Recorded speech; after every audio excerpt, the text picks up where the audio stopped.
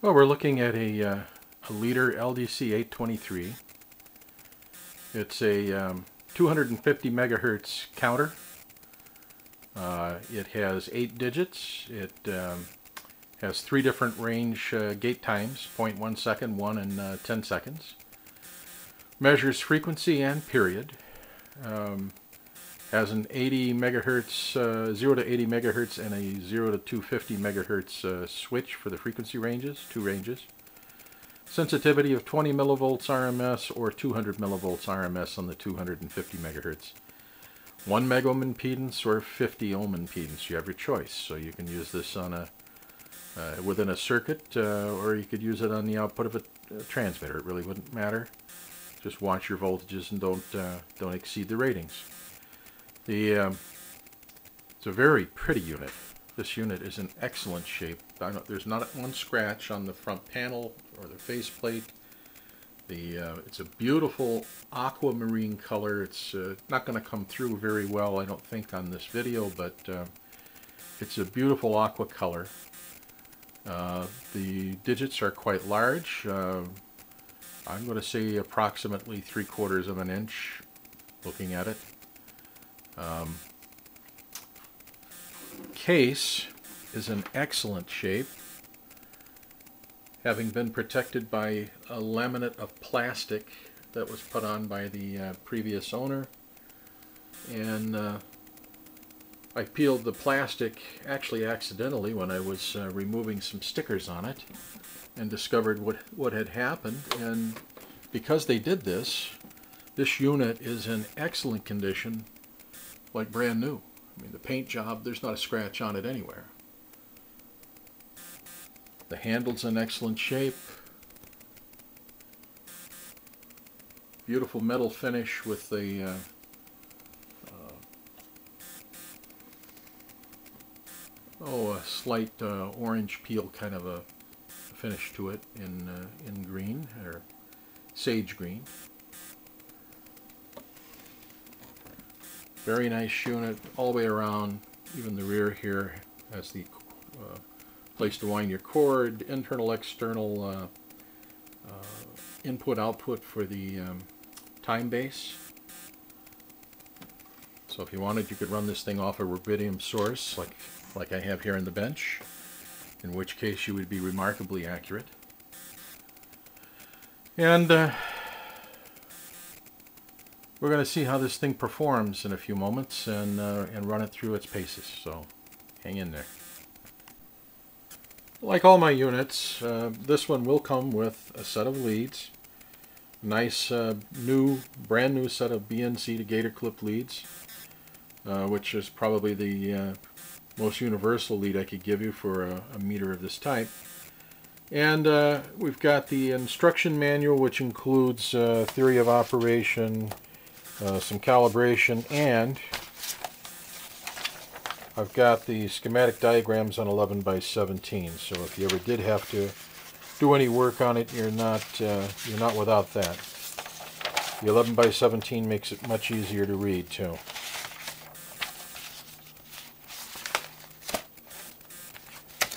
So, there you have it. Happy bidding.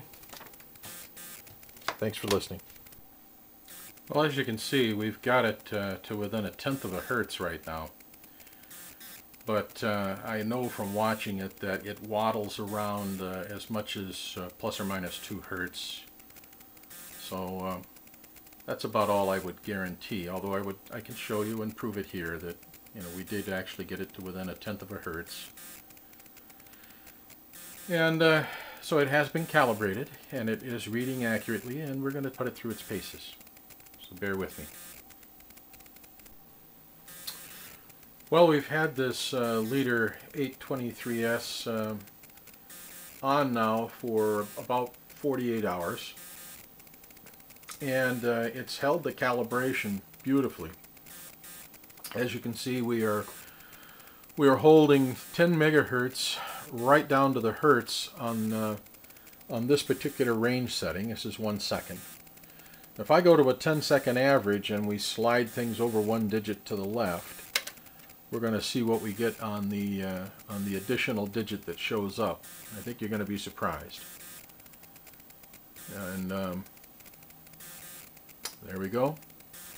So you have a 1, a leading 1, a 0, three zeros, three zeros, and another 0. So we are accurate to 10 megahertz right down to below a tenth of a hertz. And it's held this. This I've watched this uh, now for over 24 hours. It's held this uh, calibration. So it's uh, been calibrated highly accurately. It seems to be holding it uh, quite well. The unit has achieved temperature stability. I mean, would, that's going to be a very important thing for any user. You just got to allow this thing to come up to temperature, which is going to take about 24 hours. So before you need to do anything highly accurate, give it 24 hours to warm up. Otherwise, it doesn't matter. You can use it the way it is. It's still going to be within a few hertz. So uh, just wanted to show you the calibration. I'm uh, quite happy with the results on this one. Okay, well, we've got this leader connected to this PTS 500 digital synthesized RF generator. And uh, we're going to run it through a test of its frequency range and, uh, and its display capability. So let's, uh, right now we're looking at 10 megahertz. And uh, we're going to take her up 10 at a time. Here we go to 20, 30, 40, 50, 60, 70, 80, 90, 100,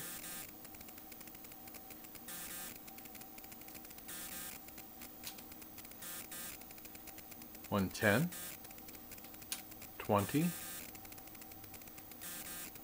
twenty, thirty, forty, fifty, sixty, seventy, eighty, ninety, two hundred,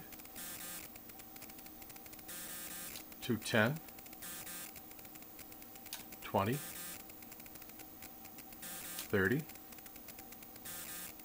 forty, fifty. Okay, we're at its rated limit according to the specification. We're going to continue. Here's 60, 70, 80, 90, here's 300, here's 310, 20, 30, 40, 50, 60, 70.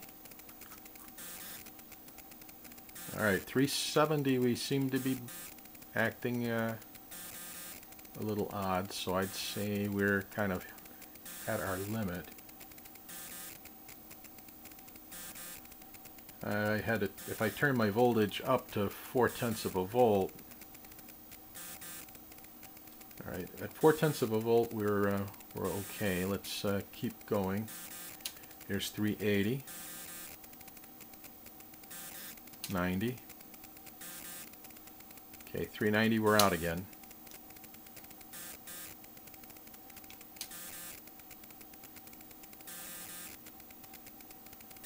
There we are. So we're up to uh, half a volt at this point. And if I go to 400,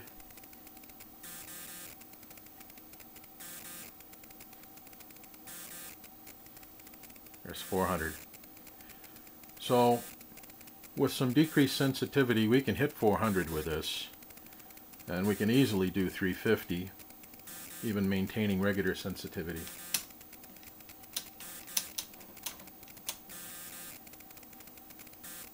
There's 350 there, and uh, let's see.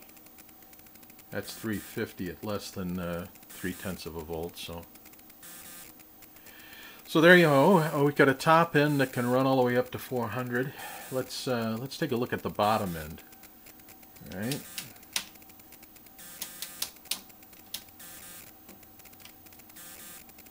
There's 9 megahertz. Let's go ahead and put her on the 80 megahertz range. 9 megahertz, 8, 7, 6, 5, 4, 3, 2, 1, 900 kilohertz. 800, 700, 600, 500, 400. Okay, at this point I've got to switch to a different generator. We're going to go to the Hewlett-Packard 3320. We'll pick her up at 400 and we'll take her down uh, to 1. See how we do. Okay. We're at 400 kilohertz. There's 300. 200, 100, 90,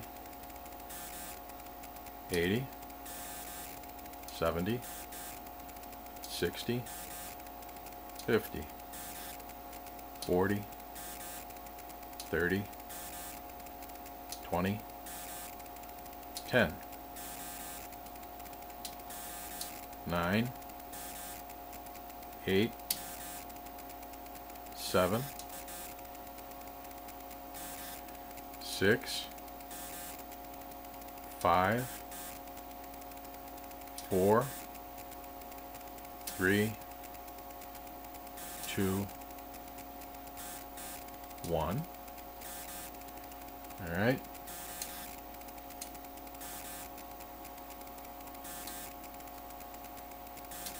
Nine hundred hertz. 800 hertz, 700, 600, 500, 500, 400,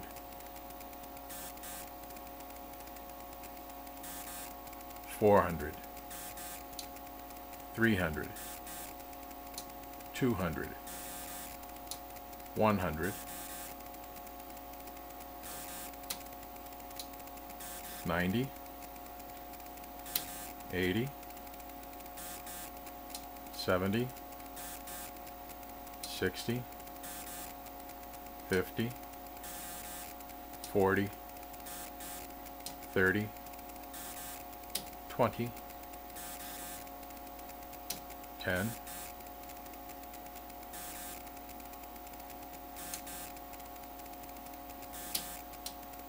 9, 8, seven, six, five, four, three. All right, we're going to go to a 10 second average here. We're going to try a two.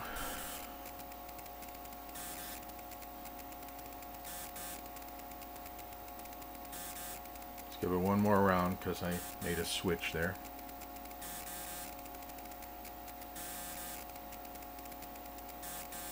There we go. There's two. Here's one.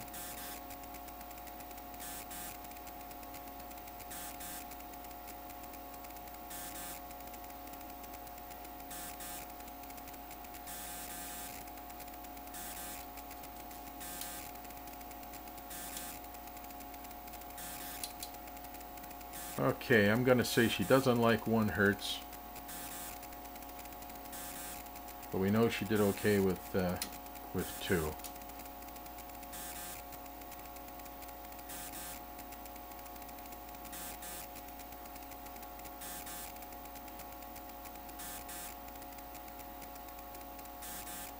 There's 2 hertz. So we are able to read from 2 hertz all the way up to 400 uh, megahertz So uh, got a lot of range in this unit. Very beautiful unit, very attractive. It's been calibrated sensationally. And um, if you uh, if you need to use it for something highly accurate, just make sure that you leave it on for 24 hours so that it temperature stabilizes and that oscillator should slip right back down into this calibration range. Don't fiddle with the calibration unless you uh, you have the means to make sure that you get it even better, which is kind of hard to believe. But uh, like all my units, uh, this one will come with a set of leads. Nice uh, new, brand new set of BNC to gator clip leads, uh, which is probably the uh, most universal lead I could give you for a, a meter of this type. And uh, we've got the instruction manual, which includes theory of operation, some calibration, and I've got the schematic diagrams on 11 by 17. So if you ever did have to do any work on it, you're not uh, you're not without that. The 11 by 17 makes it much easier to read too.